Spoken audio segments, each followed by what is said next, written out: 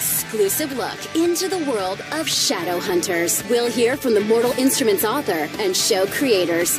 From stunts and on-set escapades to Shadow Hunter love, the cast will reveal all. Get ready for insider access.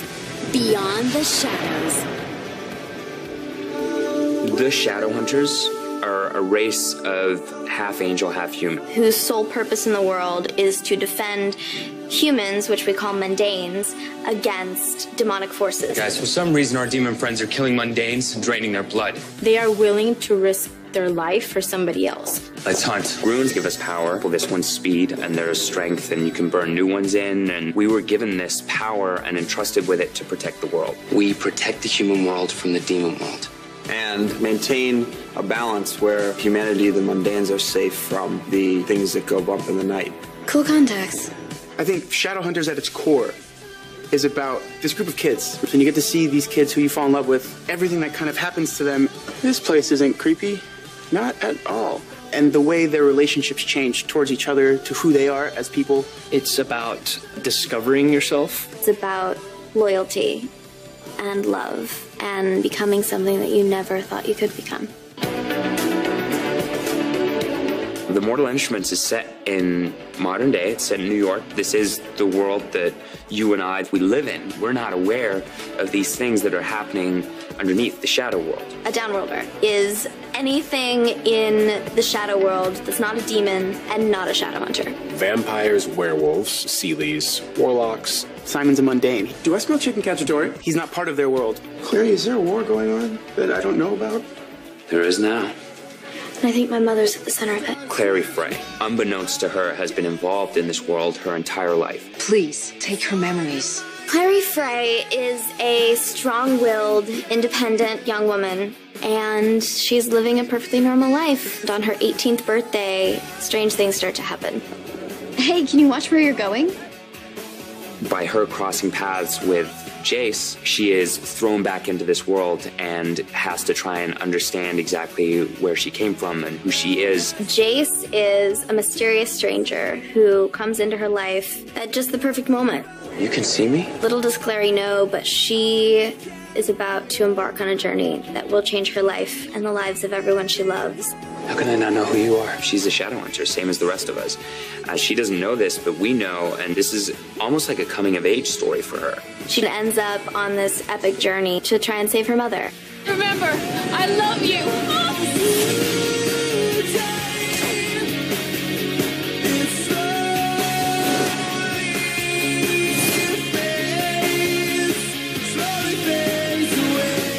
This amazing blend of strength and vulnerability. I feel like she's a great role model because she has so many things going wrong in her life and all of these things keep happening to her, and yet she never loses courage, she never loses faith, she never loses her drive to reach her goals and to save the people she loves. Just want to find my mom.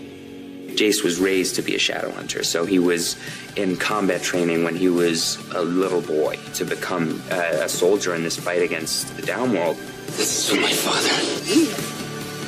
He loves to have fun. He's strong. He's powerful. I mean, he knows he's he's charming and he's very handsome. So what's up?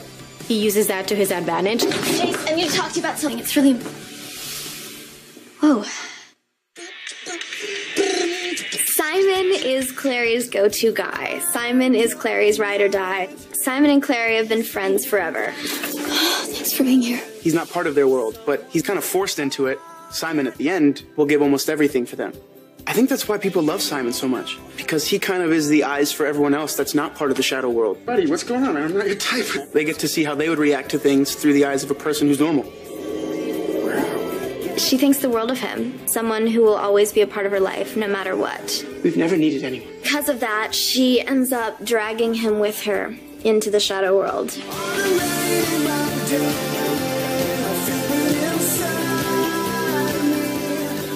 And it may or may not be good for him. I play Alec Lightwood. Jace and Alec are parabatai. Two shadow hunters who are raised together. There's a bond between them. In battle, we're one being. We fight together and we move together. And if that parabatai bond is broken, it could quite literally kill us. Alec Lightwood is frustrating. Alec doesn't like Clary. Mundane shouldn't even be here. Alec doesn't like what Clary represents. Alec doesn't like the risk that Clary brings in. Who is she coming in here?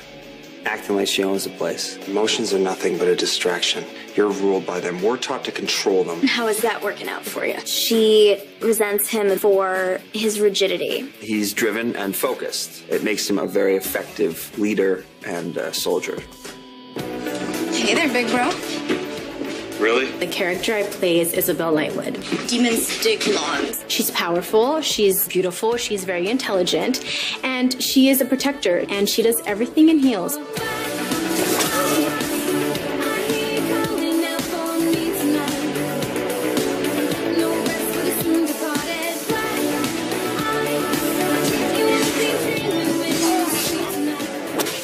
Magnus is a very complex character. Uh, he is a 400 year old warlock. He is sort of the man with all the answers. So you're the one who stole my memories. At your mother's request. Magnus, he's there helping a lot of the shadow hunters, even though he has a dislike for them. And why should I trust you?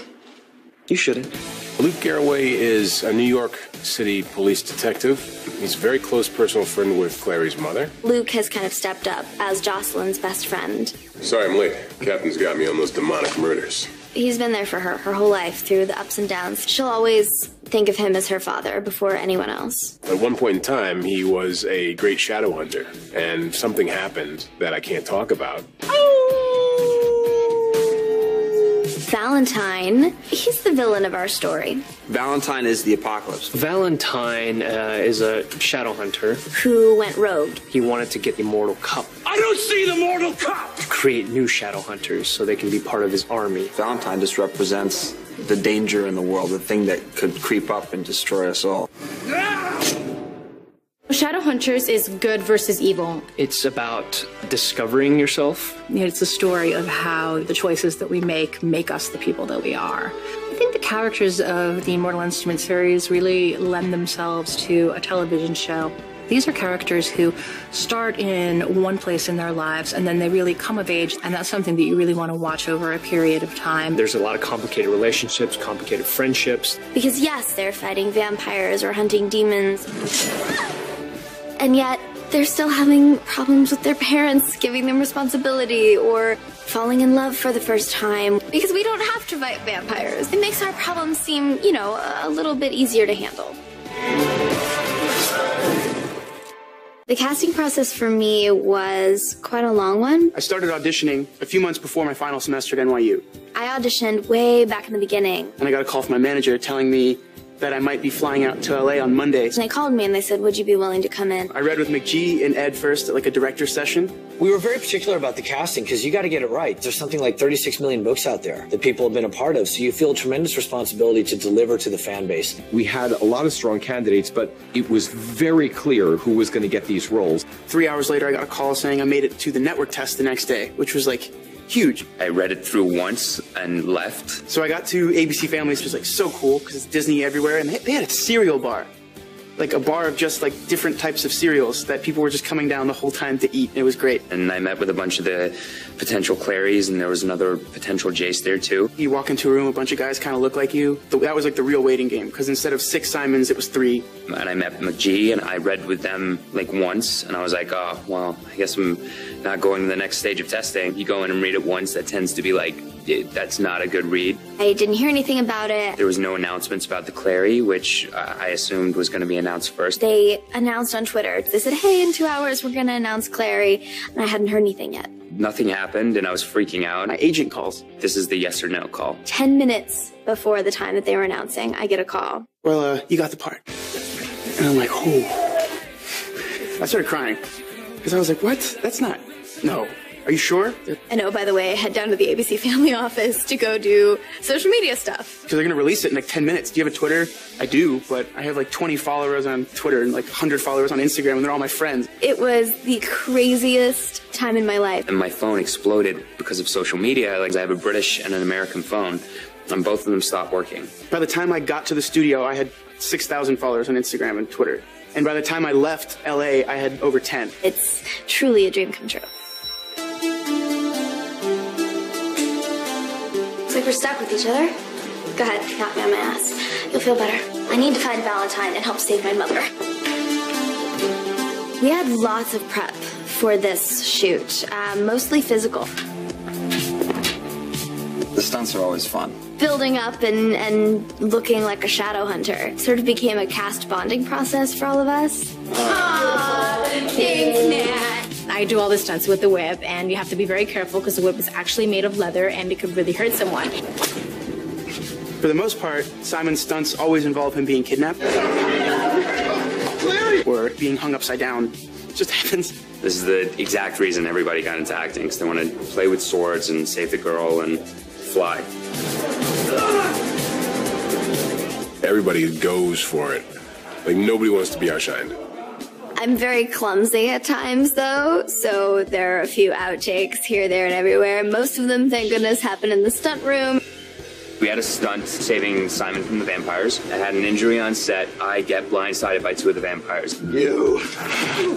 So we go down to the floor and we tussle, and my foot caught underneath me and rolled. A stunt guy hurts you, or you hurt a stunt guy. You basically end up with like a crate of beers as like a thank you. Uh, we have a scene of Pandemonium, which is a club. First episode was in the first week. And who thought so many years of ballet, dance training can actually come in handy? They're dragging me across the floor. It was so great to get in there.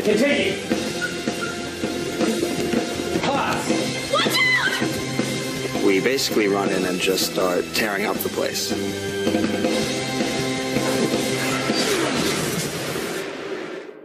Coming up next, Shadowhunter Love and pranksters on set. Despite the drama on screen, I must say there is no drama off screen. I have a feeling that's not how it works. Hello, little boys, little toys,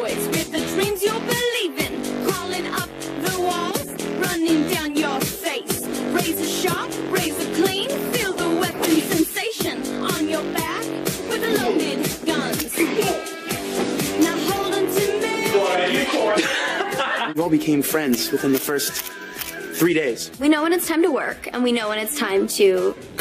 Where will he? I've heard that it's not like that all the time. Dom loves playing pranks. We're all jokesters on set. I mean, it's how you get through the day. Come with me as we look at a natural chase in the wild. It can get extremely annoying. But we're in crunch time and we and we start laughing and we don't know how to avoid it. Just keep going, keep going. I grew up in uh, in Kent in southeast England. For me, it's just easier to stay in the accent, and I'm very close with everyone on set, so it's very easy for them to say, you, you know, you didn't say this word right. And when they call rap at the end of the day, I, my accent will go. I'm Dominic Sherwood, and I play Jace Wayland on Shadowhunters. Well, we can't really go out because we're all on really strict diets. We found out Kat hasn't seen a lot of movies. So we made this long, giant list of all the movies that she hasn't seen that we have to make her watch.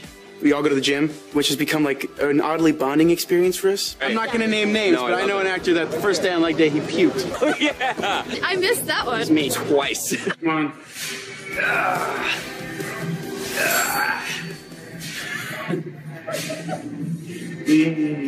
There is a lot going on in this show as far as relationships. Clary and Jace have a connection. Jace doesn't believe in true love at all. And meeting Clary is kind of this first instance of, oh, maybe. I got you.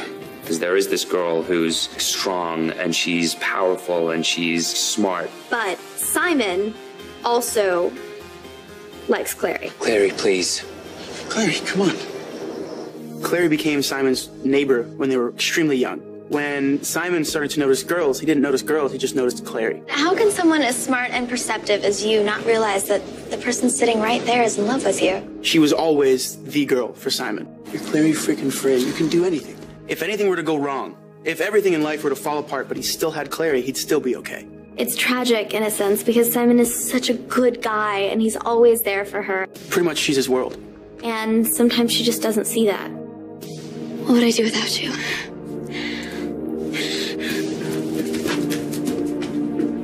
Isabelle and Simon are starting to become good friends.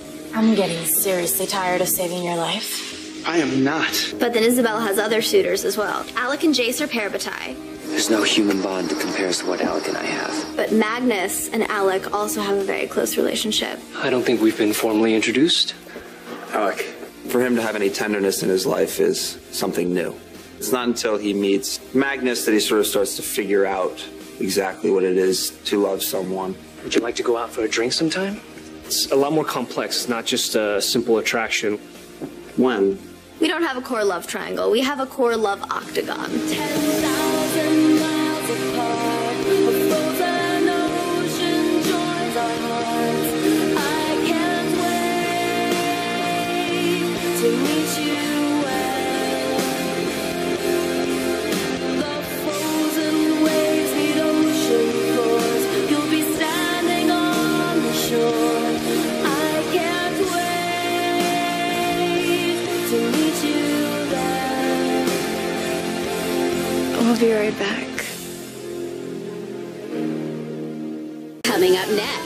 Shadowhunter world created, Fandemonium, and plot twists revealed. So I'm sitting on the set of the Institute right now, and of course, one of the most fun things for a writer is seeing the world that has existed inside their head realized in real life.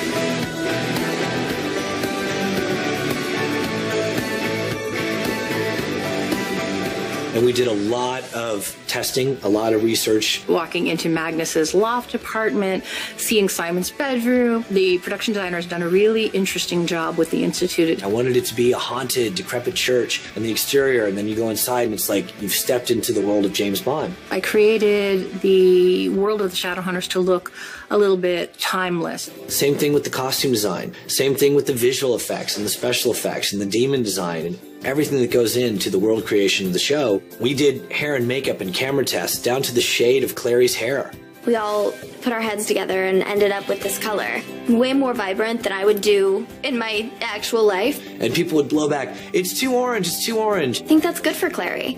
You know, she's supposed to be this fiery personality, and it's it's nice that her hair can be an extension of that. The amazing behind the scenes team that is wardrobe, hair, have done an incredible job because without them, Isabelle's look wouldn't be Isabelle. Every time she goes on a mission, she always has something new and fashion forward. Also, with the physical expression of the runes. I wanted them to be interactive and have the quality of almost like burn marks. When I get the runes is when I truly become Clary Fray. And just to have these marks on you, they become a part of you. Action. Where are you? Shooting in Toronto was challenging. It's where it would get cold and the wind would blow over the lights. Everyone has an opinion on night shoots. For the first three hours of a night shoot, everybody's having a great time. 4 or 5 a.m. rolls around and you start to get a little bit. Ready? I'm gonna kiss you. Fatigue starts to set in. Everybody gets a little squirrely after about, you know, six or seven hours. We've had so many fans come up to us here while we're shooting. The first time someone said my name, Aren't you Clary and Simon and Jason from the. I don't recognize you at all. And they're like, yeah, will you sign this? I was like, oh, you're a fan. These fans are fierce. The series hasn't even started. We're still shooting the show. And they're tweeting me, asking me questions, Instagramming me things, making these incredible fan edits. Mortal Instruments TV show seems to be off first, it was strange, and I didn't understand. I was like, you guys have no idea who I am. I just, I was working at a restaurant a week ago. They're tuned into to every aspect of the show. Join me today for a live tweet. Snuck into the Institute just to do my live Twitter chat with you guys. Hashtag Ask Alberto, send your questions in. Hashtag AskKat. When I finally finished the books, it like, it made sense to me. You really fall in love with these characters. There's been a lot of speculation about will our show follow the book. So, in order for the Shadowhunter fans not to know exactly what's going to happen, we added some twists and turns. I need to borrow your lady. We have kept the essence and the tone and all of the things that you love about the Mortal Instruments in this show. But we have to make it fun for everyone to watch. Who is Alec gonna end up with? What happens along the way? I'm looking forward to people watching the show as I've read the scripts. We have so many shockers, so many surprises. Every time I get a new batch of scripts, I would read episode one and I'd flick through to the end and then I'd finish it. Like, oh, what? literally, I kid you not, laughing, crying, and gasping.